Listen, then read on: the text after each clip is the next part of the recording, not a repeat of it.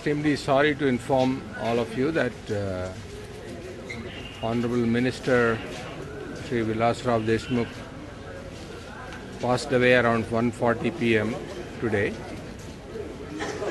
As you all know, he has been suffering from liver failure, which has led to kidney failure, and also lungs have been supported with ventilator, and also heart has been supported with various drugs.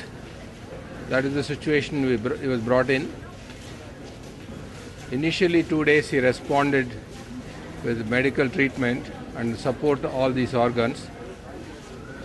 And we thought that is the time to do a liver transplantation. And since he was so sick, he needed a, a full liver.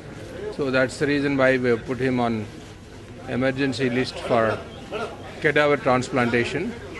Unfortunately, the last three days, when he was reasonably stable, we couldn't get any organs, couldn't get any liver to, for transplantation.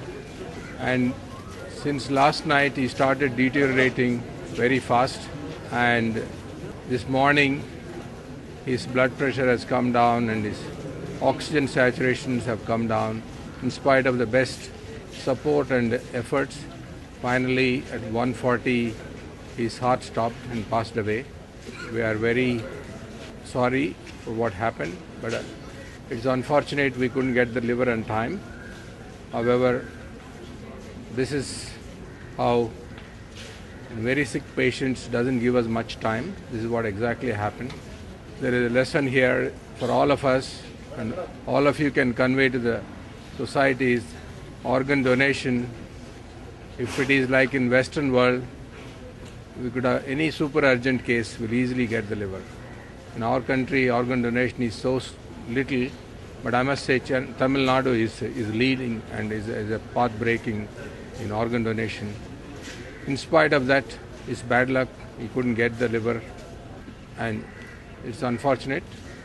We lost a, a good leader and also great human being.